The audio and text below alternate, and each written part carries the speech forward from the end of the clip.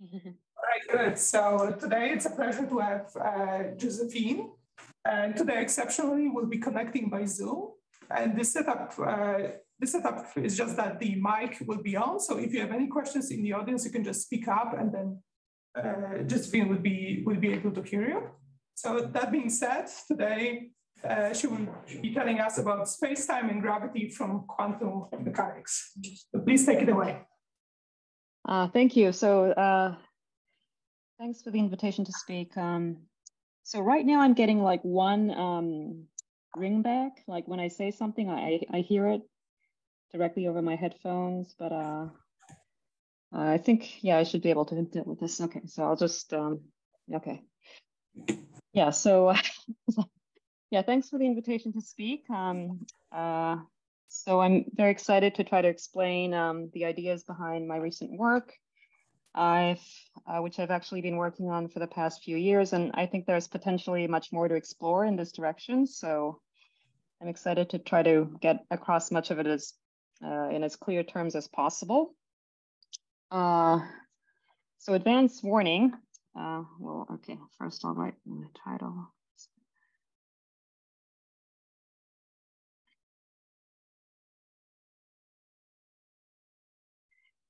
So advance warning. Um, I'm going to be introducing some calculations, uh, writing down equations, using physical considerations that may not be so familiar or that people have not seen before. So I want to make my motivations for doing those things very clear.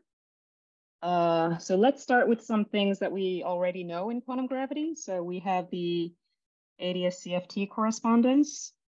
Uh,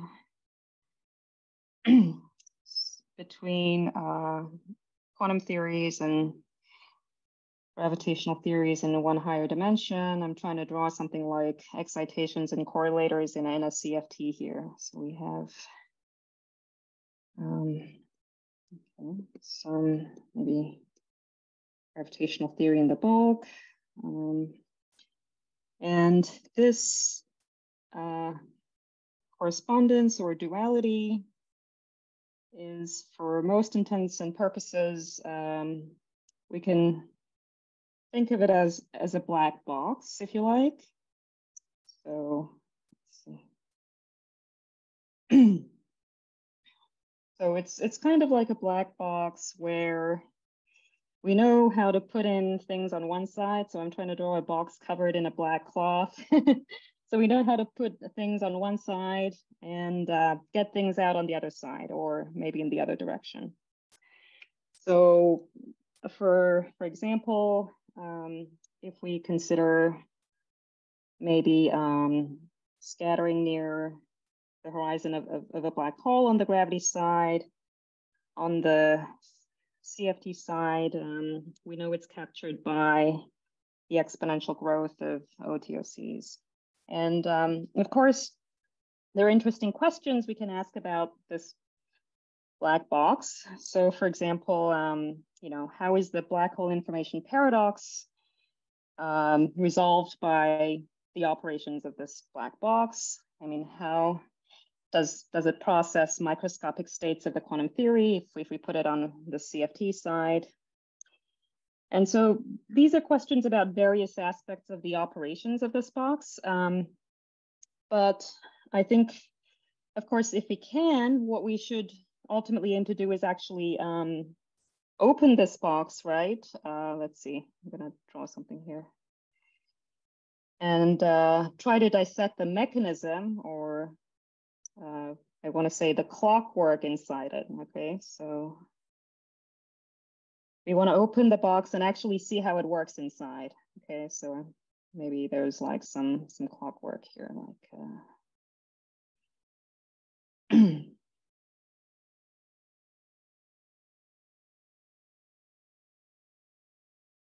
okay, I'm trying to draw some. Um, okay, something like uh, what you would expect if you open like a a machine and you see like the, the things that are going around inside it. So, okay, it goes without saying if we can do this, if we can understand the mechanism of the duality well enough, we would be able to answer, you know, ideally any questions about any aspects of this, um, of the operation of this duality. Um, we would also be able to disassemble and reassemble the mechanism, this mechanism inside, um, uh, disassemble and reassemble it in some other setting, for example, to understand um, quantum gravity in flat space. This is ideally what we would like to do, okay? So, um, add a page here, okay. So what kind of questions are involved in figuring out this mechanism that I was referring to? And um, well, a big hint in this regard has been the Ryu-Takayanagi formula. So the Ryu-Takayanagi formula uh, is telling us that the information content of the boundary quantum theory is playing a huge role um, in the mechanism of the duality. So let me just draw some, some region here, okay. Mm. And the statement is that um, uh, in the gravity theory, uh, in anti-de Sitter space that is dual to uh, quantum theory via ADS-CFT, after solving Einstein's equations, after solving Einstein's equations, we find the solution has a special property which is that the area of extremal surfaces are solving a particular problem in the quantum theory of computing quantum entropies of associated regions. I think some uh, down, then we cannot, we can see, we're still on the previous page. Sorry? We can't see anything that you're writing now. On the previous page? We're still on the previous page, yes. Oh, you're still, okay. All right, is, is this better? What, what? Nothing, nothing changed. Not really. Okay. You can't see this second page? Uh, no. Okay. Yeah, so I was trying, I, I actually drew like a picture of the Ryu-Takayanagi formula on the second page, but uh, I think for now I'll just try to erase this. Um, let's see.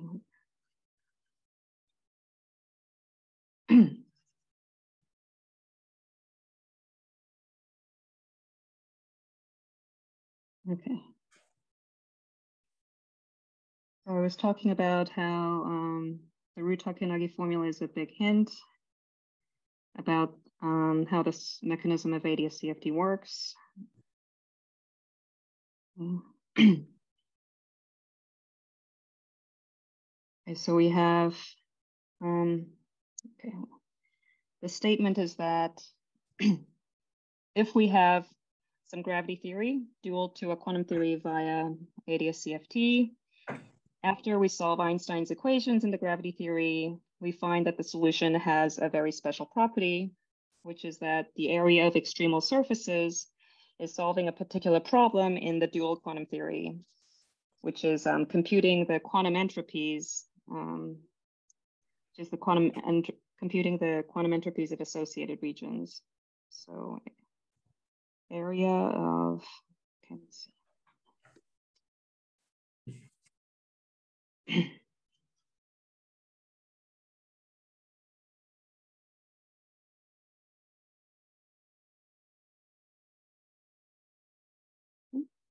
extremal areas of computing quantum entropies. So this really begs the question, you know, what quantum problem are Einstein's equations themselves solving? right? Because it must be on the basis of the equations themselves solving a particular problem relative to the boundary quantum theory that its solutions could have a special property like the RT formula, okay? So this is um, a main question that I'll be trying to address. Um, what quantum problem are Einstein's equations solving?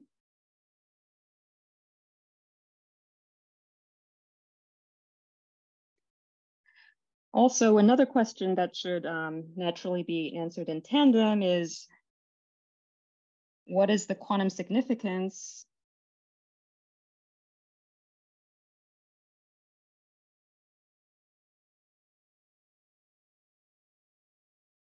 of the volume measure of space-time.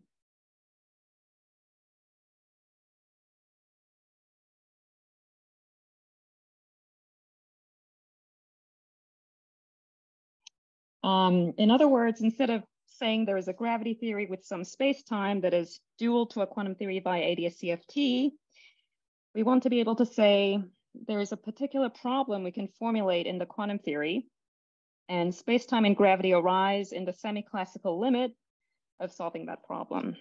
So I call this uh, deconstruction of gravity um, in, the, in these papers. Oh, sorry. Deconstruction of gravity.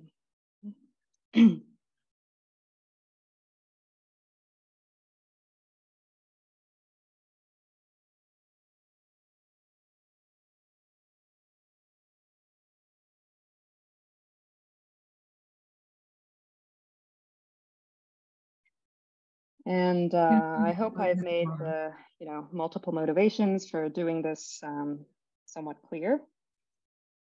So what's a viable strategy for um, solving this problem? Okay, so well, we have at our disposal a stripped down solvable model of holographic duality called JT gravity. So in this uh, simple model,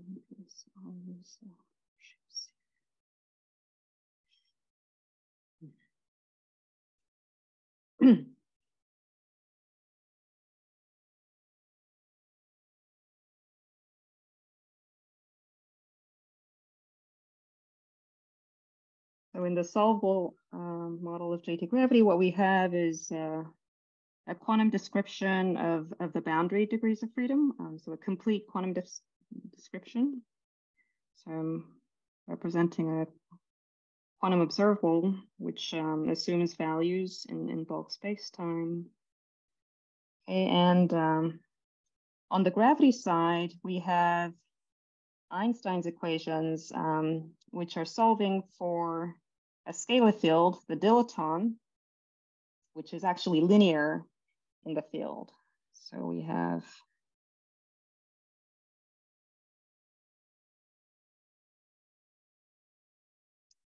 um, Einstein's equations, which are solving for the dilaton. So what we can do in this context, what we can hope to do is um, make a guess as to what quantum problem uh, gravity is solving for, then check the proposal by seeing whether we can derive Einstein's equations here uh, from, from the quantum theory. Okay, so this is essentially what I did. Um, I formulated a problem in quantum theory um, in a way that's actually quite general. Okay, so it, we can think about the problem of trying to apply it in other settings as well, but I, as a check, I applied it to JT gravity and um, verified that it gives the equations. Well, I applied, I applied the formulation to the uh, quantum theory of the boundary of JT gravity. And then I checked that I could obtain the equations of two-dimensional JT gravity in the semi-classical limit. And so um, the main feature of, of, of, the solution is actually that um, phi uh, the dilaton field, or the area of compactified space at each point of the bulk spacetime, should be identified from the point of view of quantum theory as a probability density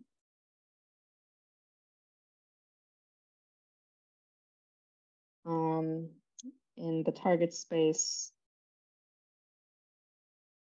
um, of a boundary observable uh, whose evolution is constrained by uh, conditional quantum distributions, which are actually obtained um, using certain dynamical correlators in, in, the boundary quantum theory. So conditional quantum distributions, oh, oops. Conditional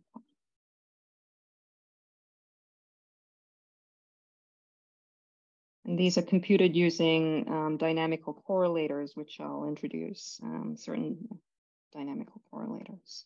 When you write at the bottom, we don't see it. Oh, you, you can't see?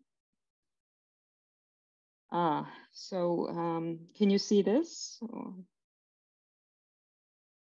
Um, this? oh, sorry, I can see the words. Ah. Sorry, now I can actually. Um, Ah, you can see. I have to adjust it on my own end though, it turns out. Okay, okay. So probably for those in the lecture hall, if you, okay, I'm not sure. Okay, can you, in the lecture hall, can you see the whole board? Yes, Yeah, yeah. yes, we can. Okay, thank you. Okay. Okay, yeah. Uh, yeah, so more generally, Space sorry? What do you mean by the target target space of X? Uh, Mr. Ah, yeah, so X is uh, the quantum observable corresponding to the position of the boundary of JT gravity. And so the bulk space-time I'm viewing here as the target space for that quantum observable. It's sort of turning around the fact that the boundary can be, um, can assume, you know, any point, assume any position in the bulk space-time. You turn it around and just view the bulk, bulk space-time as a space where this observable can assume values.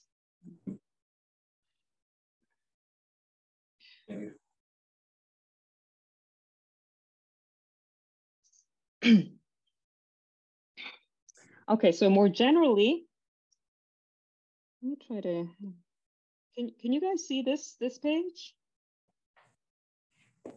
Uh, no, I don't. We can't see anything in writing now. Anything? Nope. Okay, okay, just have to try erasing on this, erasing and writing, okay. Okay, so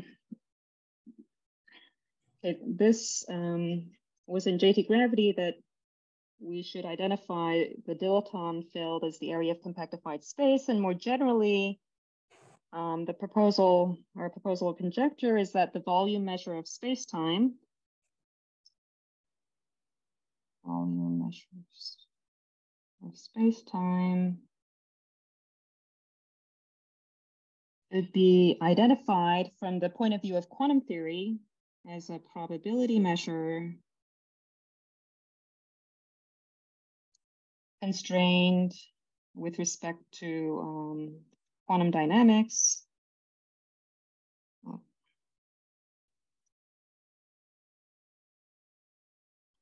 Uh, where by quantum dynamics, I'm referring to, you know, a sequence of joint quantum distribution.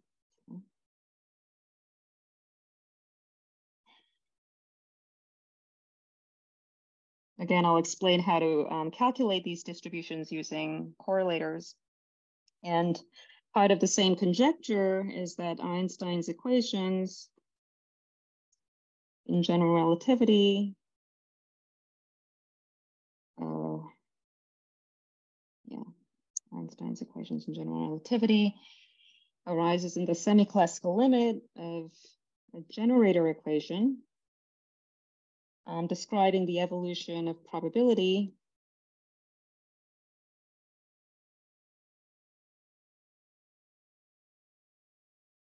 uh, with respect to um, uh, conditional quantum distributions or these joint quantum distributions, okay? So semi-classical limit, limit.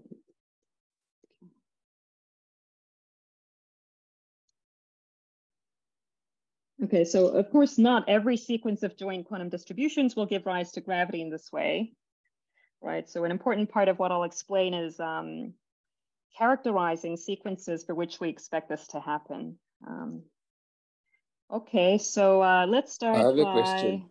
Yeah, yeah. So usually by standard ADS-CFT canon, the correlators of the energy momentum tensor in the conformal field theory are related to bulk correlators of the metric in the in the ADA spacetime. Mhm, Right. mhm.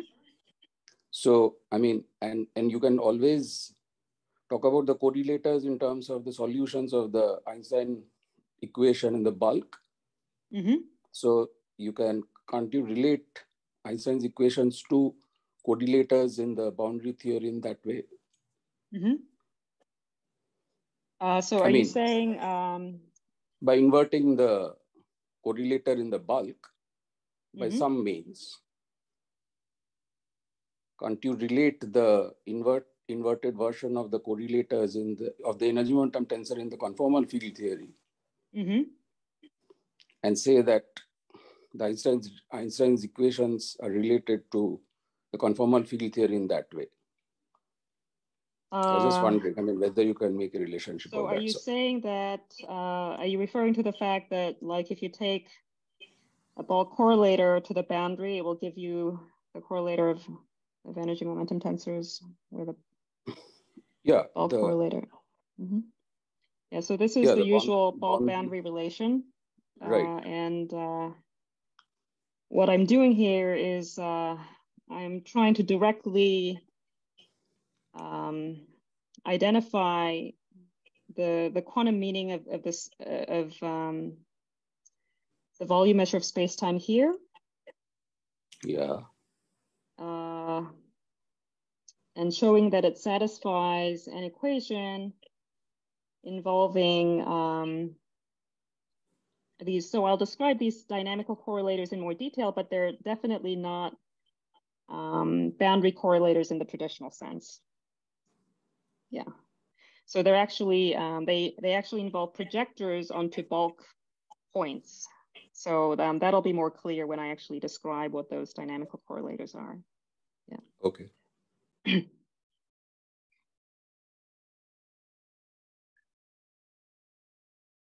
Okay, so let's start by defining um, joint quantum distributions.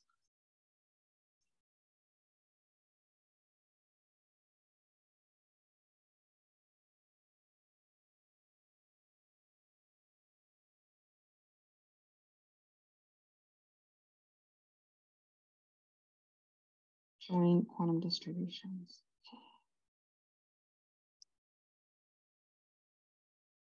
So um, let's imagine some quantum observable.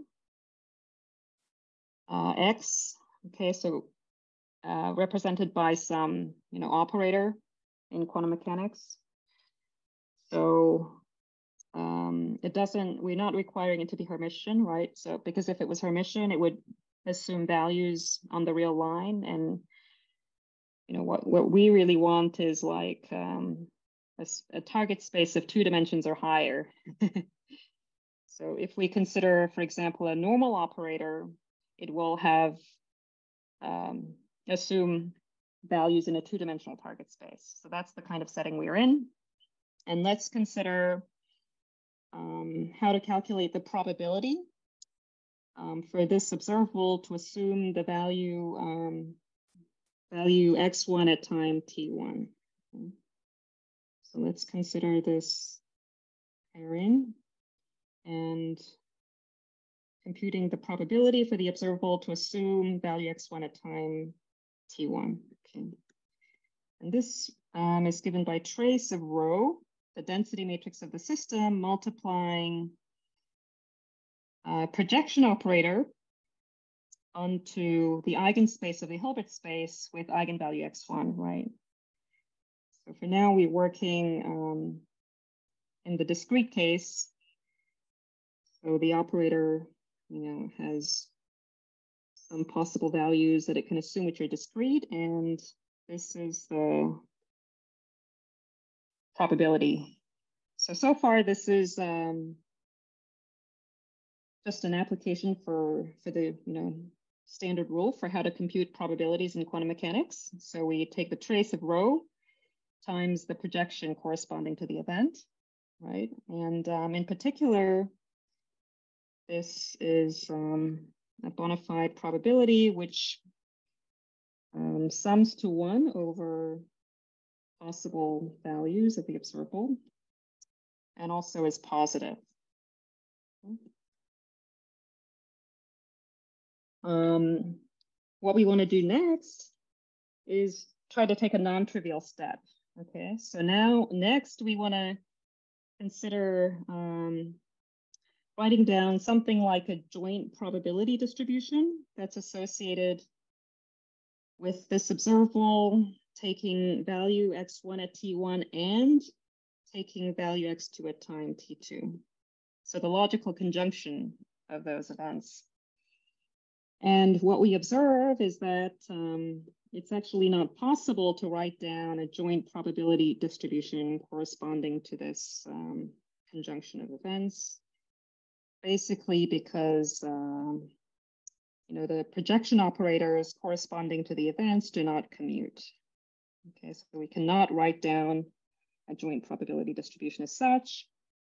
And the proposal is that instead, um, we'll try to um, write down a quantum extension, a natural quantum extension of the expectation value we had for the single event probability. So this is going to be trace of rho times projection at time t1 times projection at time t2.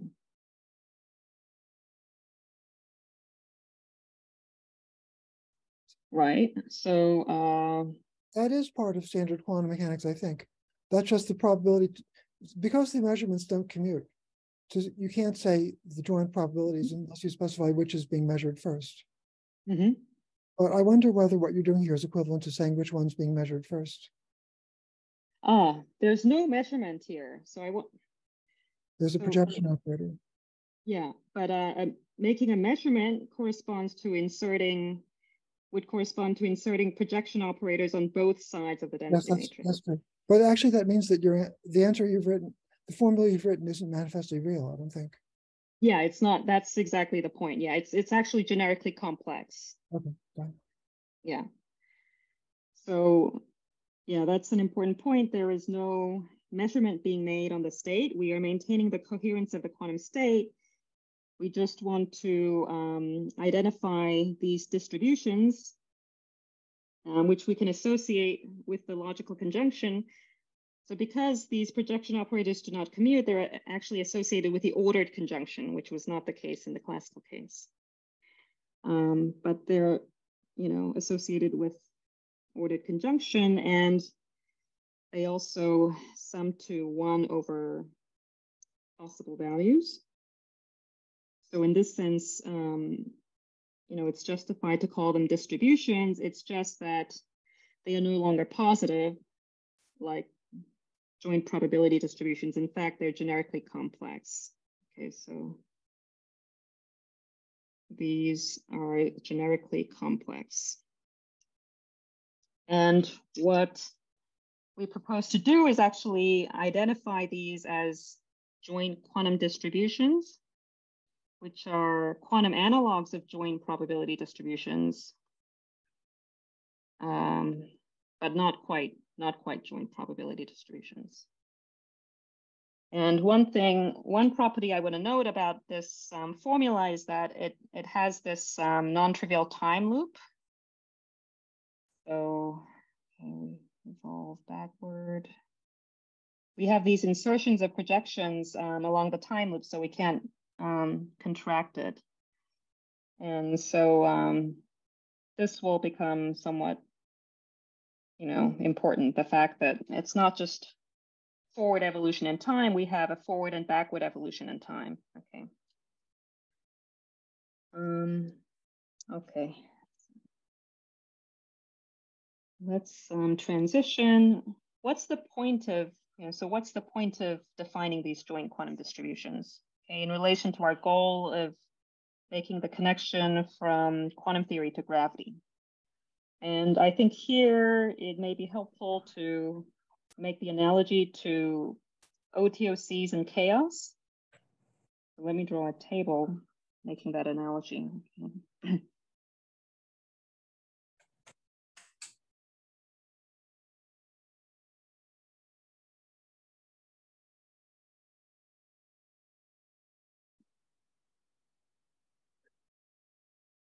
So classical dynamical phenomenon.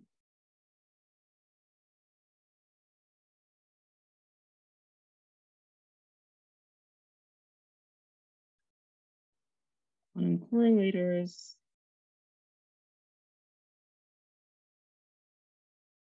And uh, gravitational limit. Uh,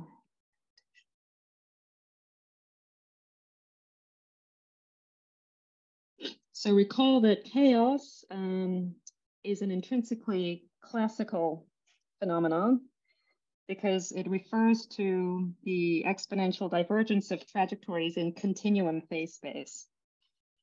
Um, and in, in, of course, in the quantum case, we, we don't have a continuum phase space, we have a discrete phase space.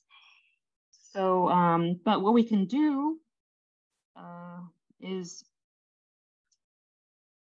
um, study a judiciously chosen choice of dynamical correlators, i.e. OTOCs. And what we can do is make contact with chaos um, by studying the, the behavior in time of those dynamical correlators, right?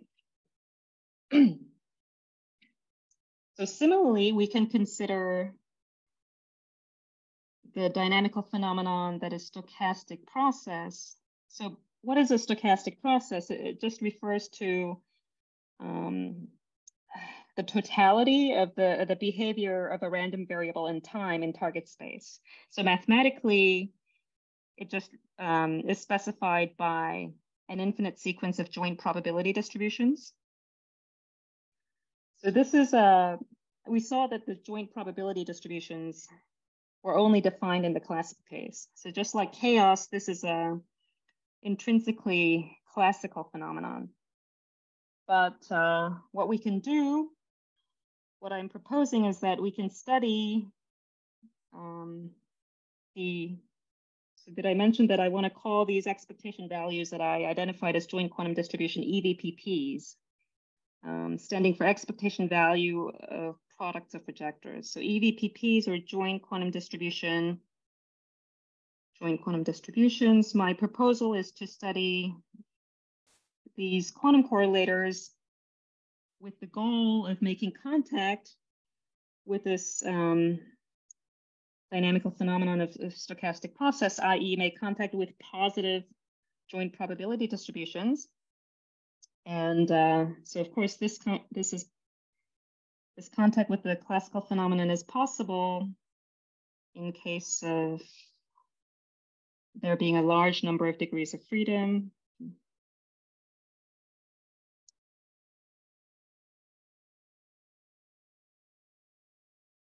Um, and a semi-classical limit. Okay. So in the case that the quantum system has these properties, um, you know, we can um, uh, look at the behavior, the leading behavior of these OTOCs, identify a Lyapunov exponent, and therefore make, make the contact with chaos. And my claim is that um, under the same conditions, we can um, start with joint quantum distributions, which are complex, but naturally make contact with some joint probability distributions, which are positive. And just like, um, well, similarly to the case of chaos, um, this will, we could leverage, we'll, we'll see that we can leverage this connection to a classical dynamical phenomenon to make um, ultimately um, connect to gravity. Okay, and I just want to mention that um, similarly to the fact that in the case of chaos, we had this extremal condition of maximal chaos, uh, which um, is a dynamical condition that says that the quantum theory exhibits gravitational behavior. Um, the conjecture we have is that Markovianity is an extremal condition for stochastic processes to satisfy such that, uh, that um, it gives the stochastic process gives rise to gravity. So this is a nice table. Uh, okay.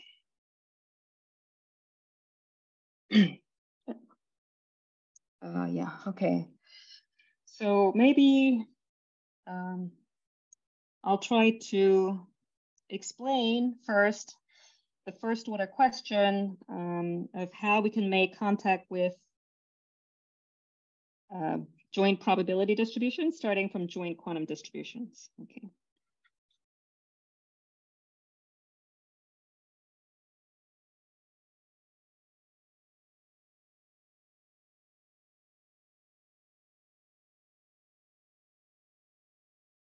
Okay, so suppose we had a sequence of um, joint quantum distributions.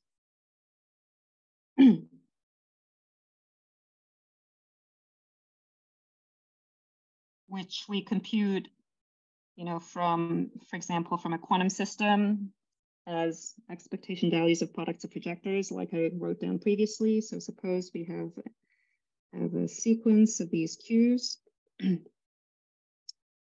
the question is, in which cases and how could we make contact with classical joint probability distributions, which are positive? Okay, so because these are all complex. And so the first condition is that there should be a large number of degrees of freedom so that it's possible to consider continuum joint quantum distributions, which are now um, invariant under, um, uh, sorry, which are invariant over infinitesimal volume elements in, in target space. So if, if the possible values of the observable are dense enough, this should be possible, okay.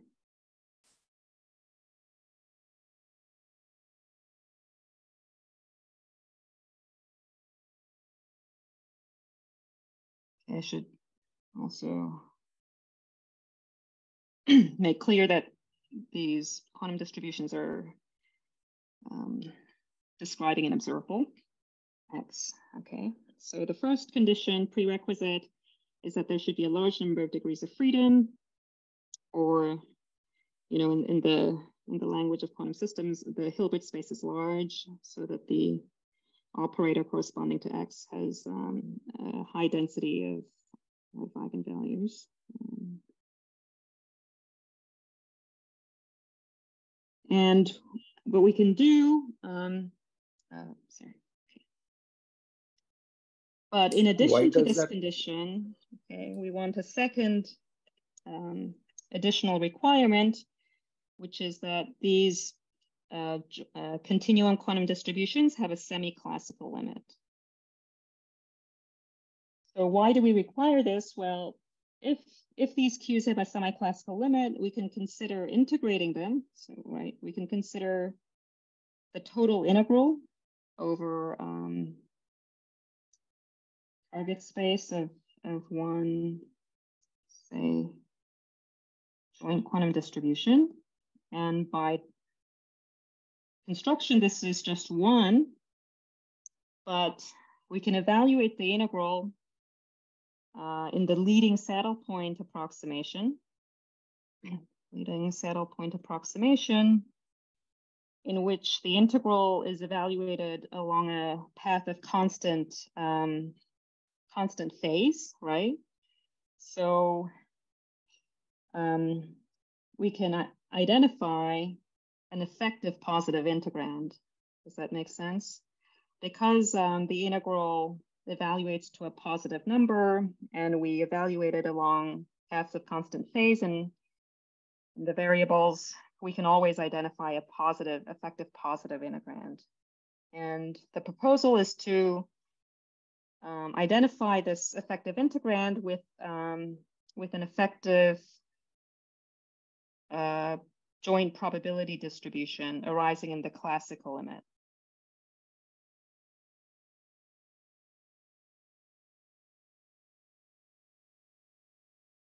so effective joint probability distributions uh, arising in classical limit.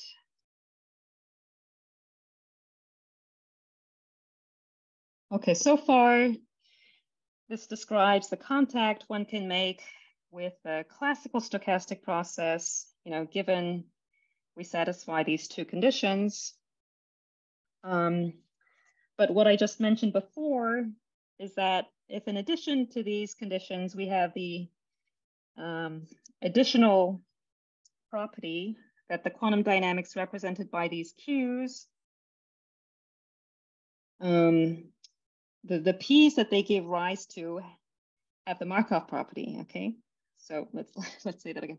So if the quantum dynamics represented by these Qs have the property that the P's that they produce in this way have the Markov property, then the claim is that um, these Qs give rise to space-time and gravity in the semi-classical limit.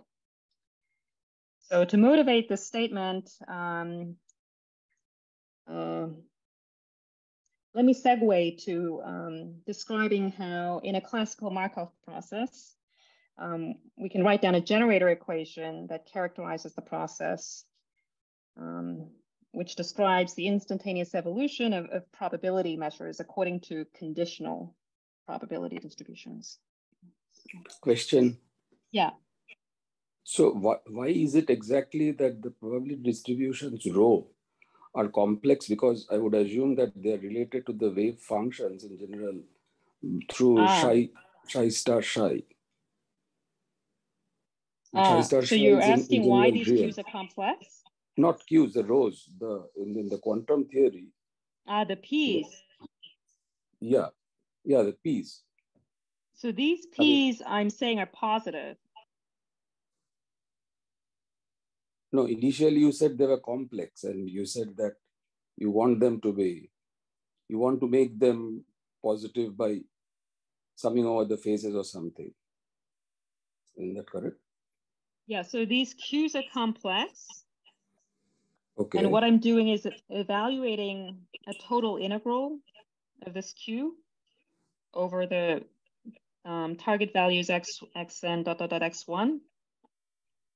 And I'm saying in the, if, if there is a semi-classical limit involving a saddle point approximation, we can always identify an effective integrand, which is positive.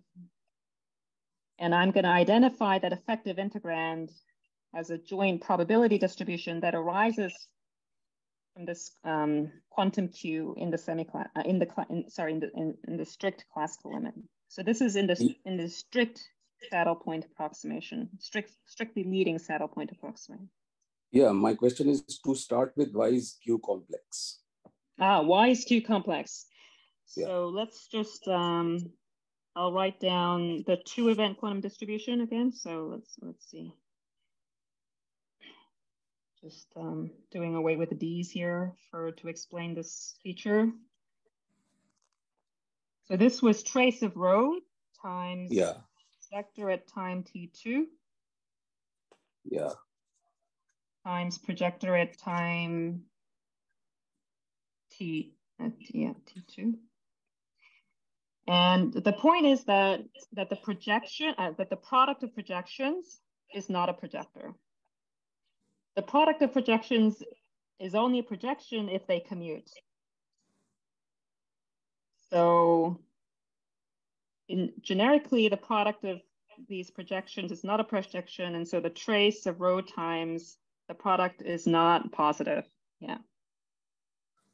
But in, And how and is rho- you can see that sorry how how is P and rho defined? P, I mean this this P of x2 and P of x1. How are they defined in terms of the wave functions of the system? ah they're not in, defined in terms of the wave function they're defined in terms of the operator corresponding to the observable so these are projection operators onto eigenspaces of the Hilbert space with eigenvalues corresponding, uh, you know, with um, eigenvalues corresponding to the, you know, eigenvalues of this operator.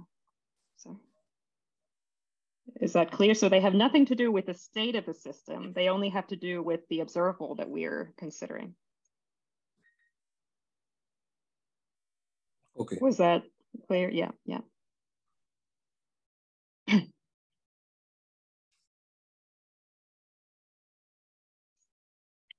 Okay. uh, yeah. Okay, so I was saying that if in addition to these two conditions, um, the P's that are produced by this um, procedure exhibit the Markov property, then the claim is that um, this quantum process consisting of these distributions give rise to gravity. So that's the claim I made in the table with um, right, with uh, maximal chaos corresponding to gravity in, in the in this in the case of chaos and in the case of um, stochastic processes, I was claiming that the um, that Markovianity is the characterization corresponding to gravity. Sorry, because uh, what I'm saying is just getting repeated back to me and I'm not being very coherent. Okay, okay.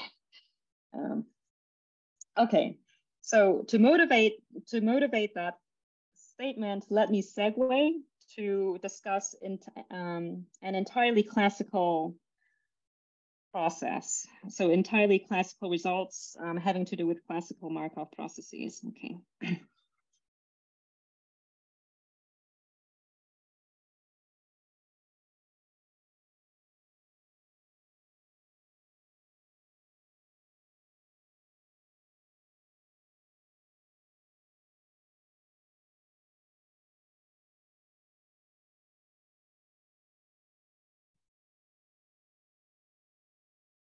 Okay, so um, what happens if we have a classical Markov process? Um, okay, so, well, first of all, how do we define a Markov process? Well, if we have a series of um, probability distributions, right? So I'm gonna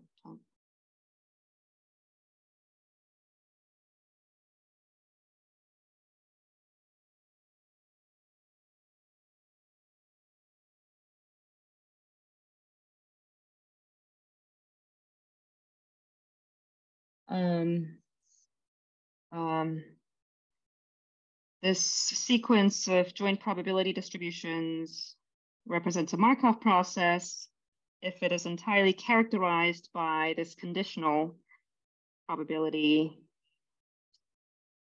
uh, this conditional probability distribution of the two event distribution divided by, oh, sorry, I have to, um, divided by the one event probability. And um, is this clear? So in particular, any um, n event joint probability can be obtained by acting on an initial probability distribution with a chain of conditional probabilities, right? Dot, dot, dot.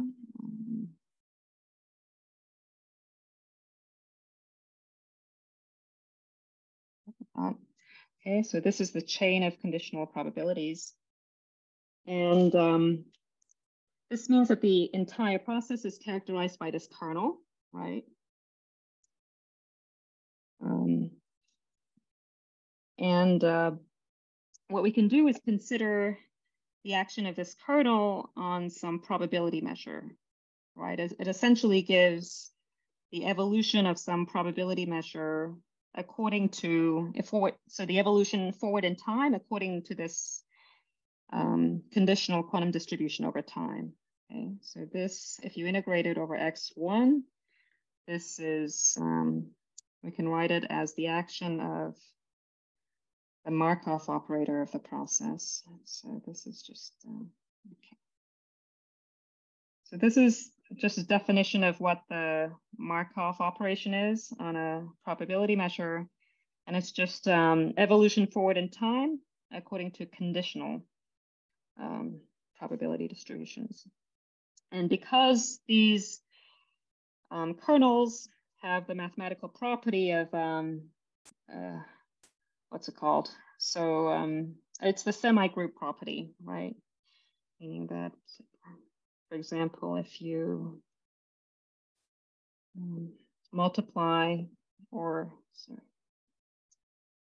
if you integrate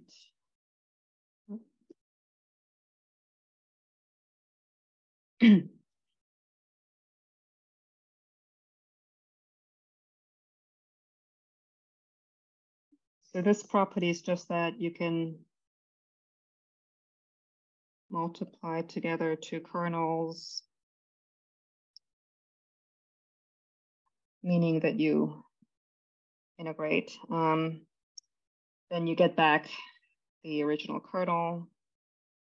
Okay, so this is the semi-group property. And because of this property, essentially we can define a generator, which is the time derivative, which involves the time derivative of the kernel. And you can exponentiate that time derivative to obtain, um, I guess, this uh, kernel at, at all finite times.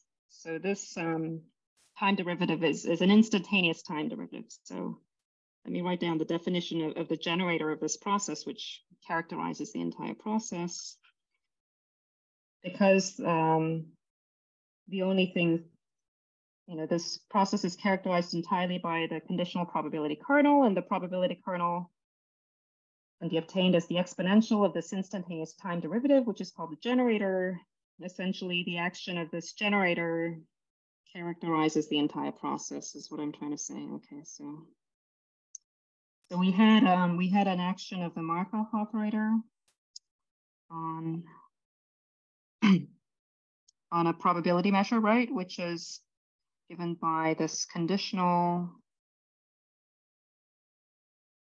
kernel integrated against the probability measure.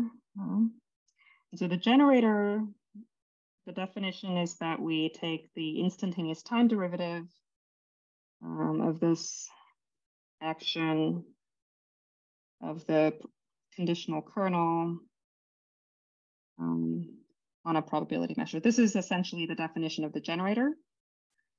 And what happens in cases where we actually have um, kernels, concrete kernels, concrete, um, concrete probability kernels for example, if we have um, Brownian motion in one dimension, where this is like a Gaussian, something like, um, let me see.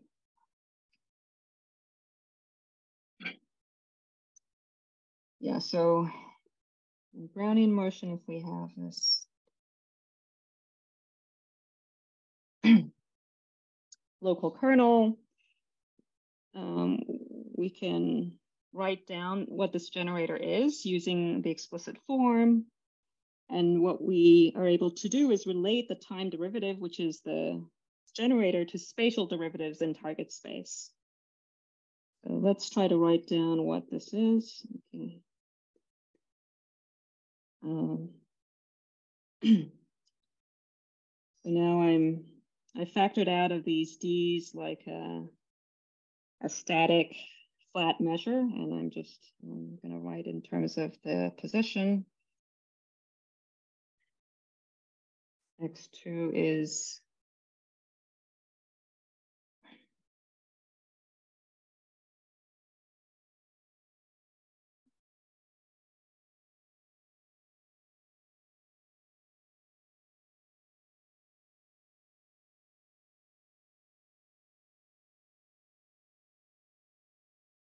right? And, and if we um, plug this in here and think of expanding this probability measure in x2 minus x1, the point is that higher order terms in the expansion in x2 minus x1 get suppressed in t2 minus t1 as well um, because of because of the concentration or locality of this kernel at small times. And as a result, we have the expansion. Um,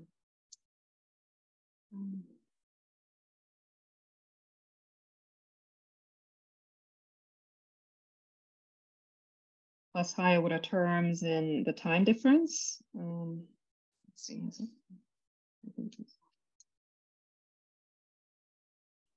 And we are left, um, after we take T2 to T1, with um, one half second derivative of x2. So this is an example of, of how the time evolution of some probability measure is related to the spatial distribution of the of, of the measure. Um,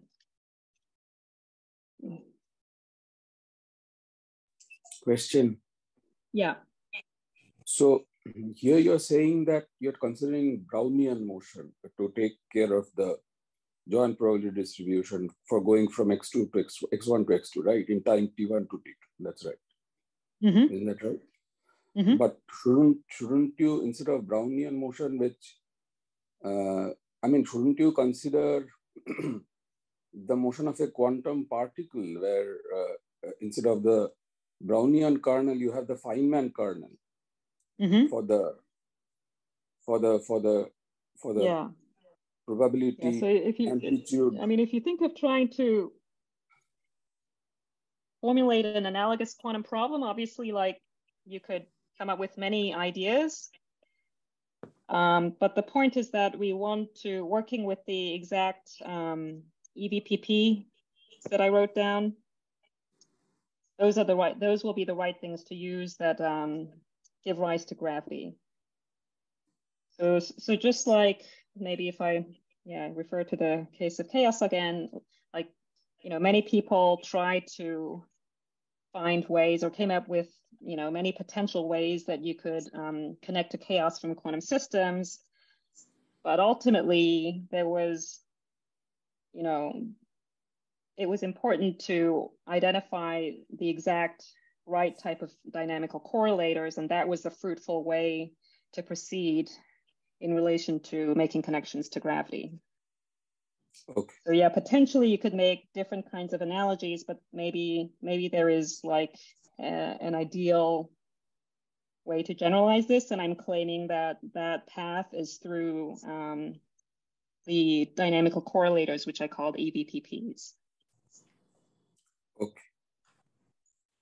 Um, okay.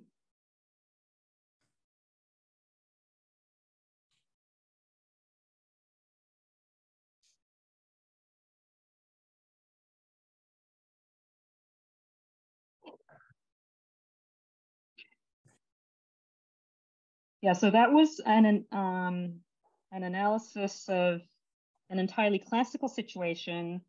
So now we want to go back to the quantum case. We want to, we were considering um, a series of Qs, right, which were computed using the, the EVPP pres uh, prescriptions. Um,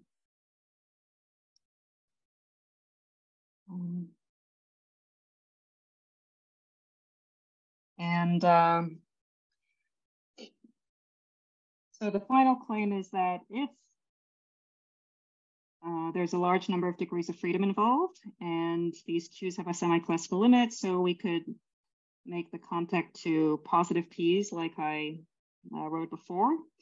And if those P's have the Markov property, then we can characterize this quantum sequence by a generator equation, just like we could for P's that possess the Markov property, where um, instead of the joint probability kernel, uh, the conditional probability kernel, sorry, that characterized the classical Markov process, we're going to use a conditional quantum kernel involving uh, these Qs. So what? So remember, we had a classical, in the classical case, we had a conditional probability kernel um, that looked like this. Two, one.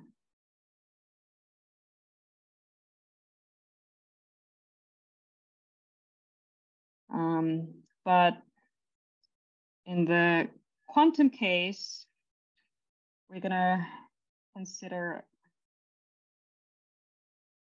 the quantum kernel corresponding to you know the two event quantum distribution divided by the one event quantum distribution. And we're going to write down a generated equation like we did for the classical case with one important distinction so in the classical case, remember we had this equation. So we had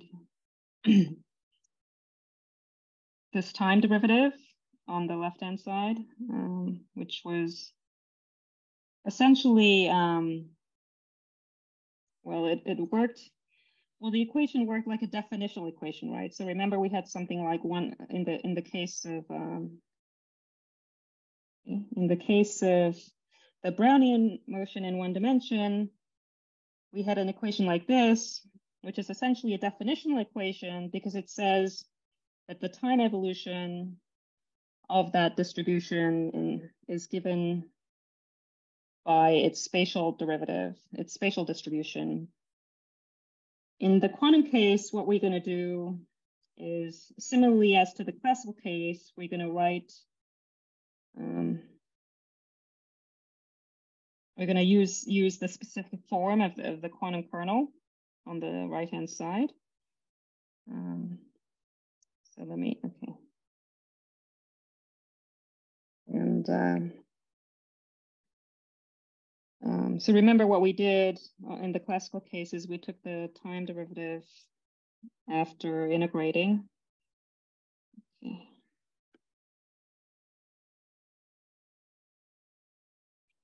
But on the left-hand side, instead of this um, sort of definitional expression, we're going to put in an expression involving resulting from quantum evolution directly applied to this kernel.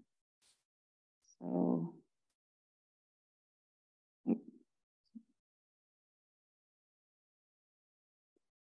So I'm going to directly take the time derivative of this kernel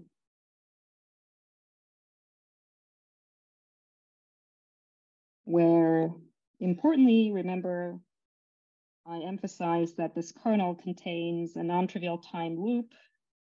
So acting with this time derivative, uh, we'll get two pieces, one from forward evolution in time and one from backward evolution in time. So let me write down explicitly. Okay, so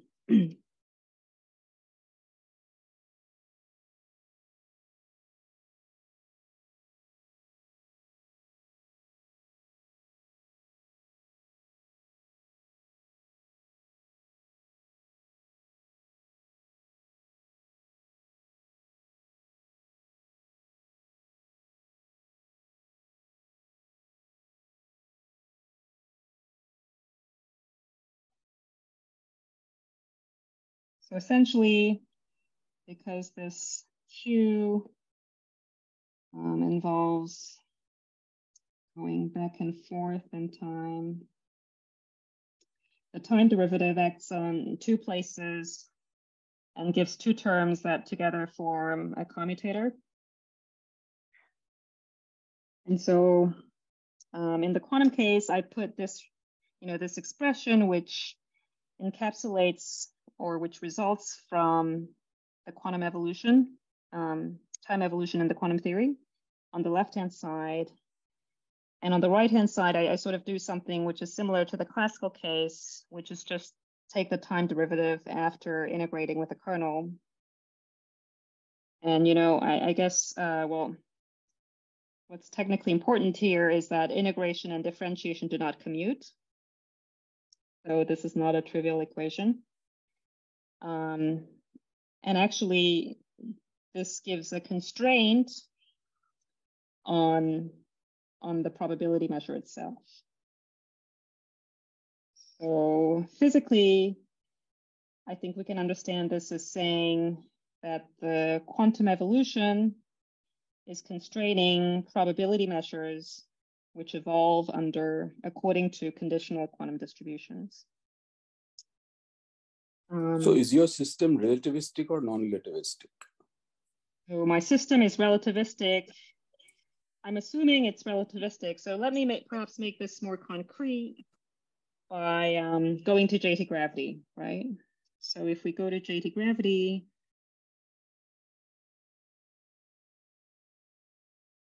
the target space is um, essentially anti-de Sitter space. So it's it's a relativistic space. Um, so in, in the case of JT gravity, this probability measure that we're considering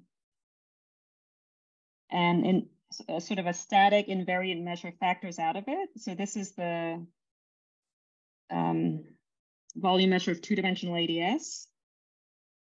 And the remaining factor is, you know, is a probability density.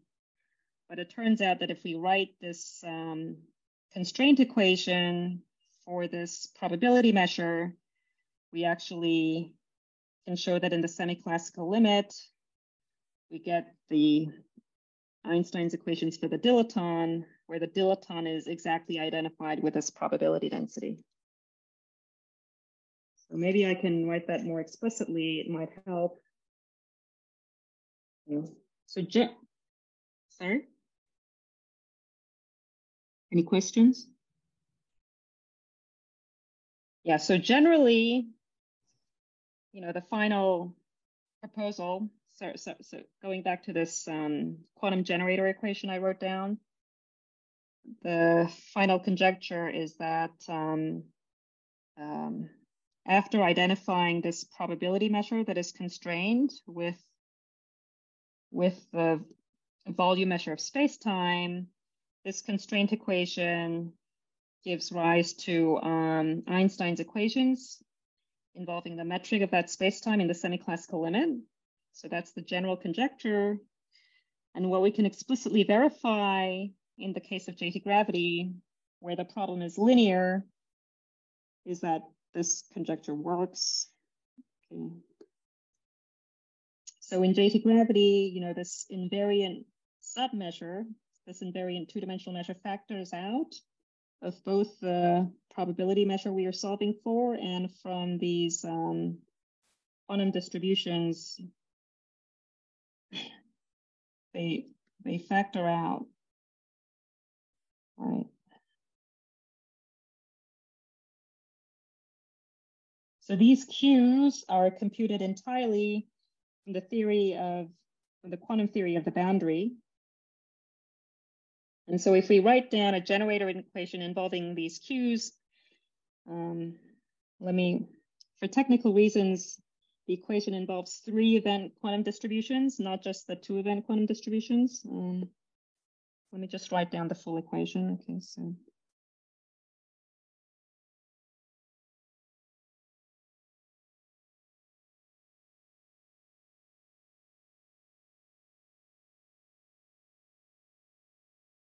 So with this um,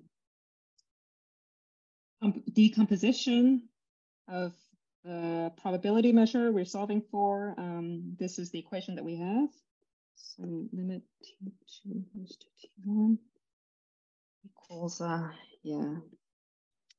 For technical reasons, we have to um, insert an intermediate point and the right-hand side also involves three event Qs. So please.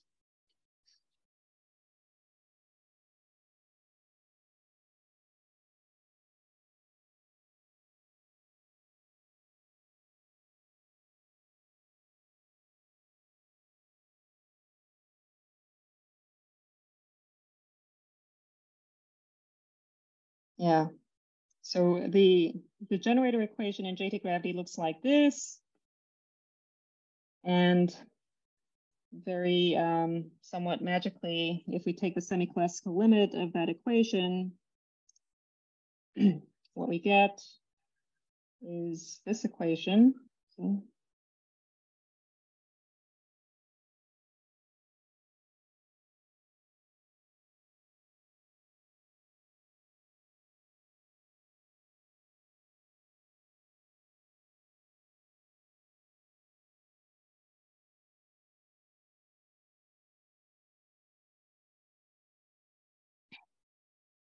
So here, um, because we're working in the semi-classical limit, essentially these integrals are concentrated along classical trajectories. So we fix the point x3 and another point x1 is approaching x3. And there are two coordinates, this directional coordinate t and a, and a coordinate corresponding to the geodesic distance. So this so L and T are two relative coordinates. And so if you look at what this integral equation has turned into, it's become this equation where this prefactor, dx over pl, these um, depend on L. So the different components of the, um, the distinct components of this tensor depend on L in different ways. So for this equation to hold, regardless of the direction, the point x1 is approaching x3, um, this prefactor equation has to hold. But these are nothing but Einstein's equations involving the dilaton, which motivates us to make the identification that the dilaton in the gravity theory is in fact the probability density constrained by the quantum dynamics of, of the boundary. Yeah, so um, yeah, some concluding thoughts. Sorry, this was suboptimal because, yeah, of um, uh, because of being remote. But some concluding thoughts are um, that this quantum stochastic process involving these, you know, definition of dynamical correlators seem to be the mechanism by which gravity arises from quantum. And, um, you know, it's exciting because suppose if we, for example, if we had some, you know, condensed matter realization of say like a holographic quantum system, then we know exactly what kind of correlators we want to study in that system. Perhaps we can measure these joint quantum distributions, just like people are coming up with ways to measure OTOCs and such. And then we have a direct understanding of space-time itself as being um, a probability uh, distribution. Okay, so we have an, an understanding of the volume measure of space-time as a probability measure that evolves according to those distributions. So I think that's um, potentially exciting that the connection to experiment has become much more concrete. And thirdly, theory-wise, I think um, there's much more to explore. I mean, one thing I'm thinking of is um, how do we derive the gravitational action starting from the quantum theory? Because usually in deriving Einstein's equations, we vary the action, but here I've sort of started directly from a quantum problem and then found an exact quantum generator equation, which reduces to Einstein's equations. So um, I think sort of understanding the relationship between action and, um, and the quantum theory is an interesting direction. And I think there are also um, potentially connections to um, the work that people have been doing in the bootstrap community. Because if you think about the problem of how do we um, write down these um, EVPPs, the expectation value of products of projectors in higher dimensional CFTs, for example, that are holographic, right?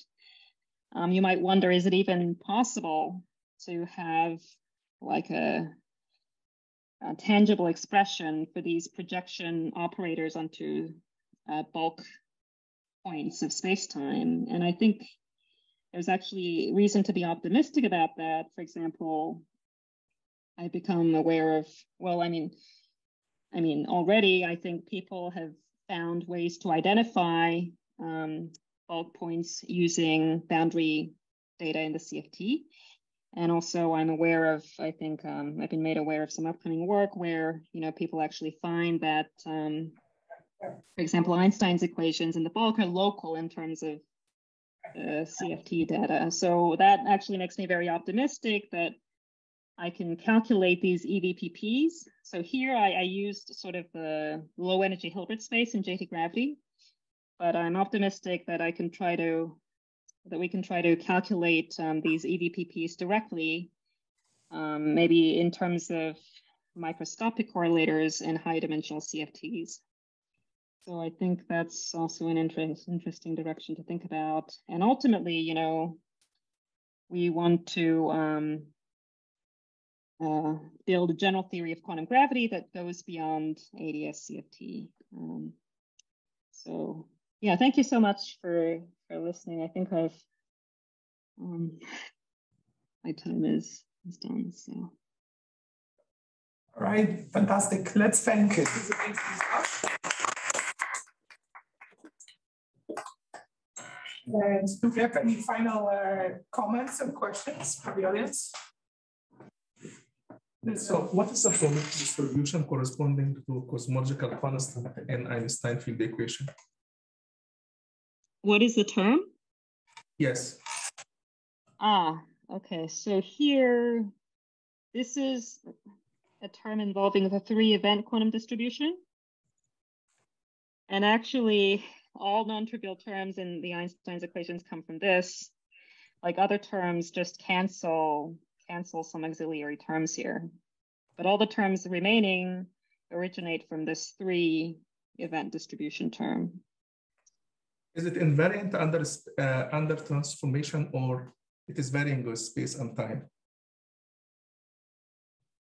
Well, I mean, this integral is certainly invariant. so whatever comes out of it is invariant. This invar this integral is coordinate invariant. Yeah.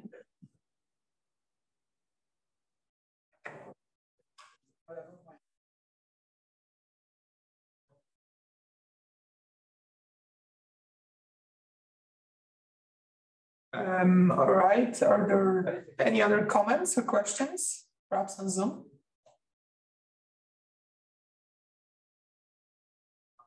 Uh, well, if not, then let's thank Josephine once again.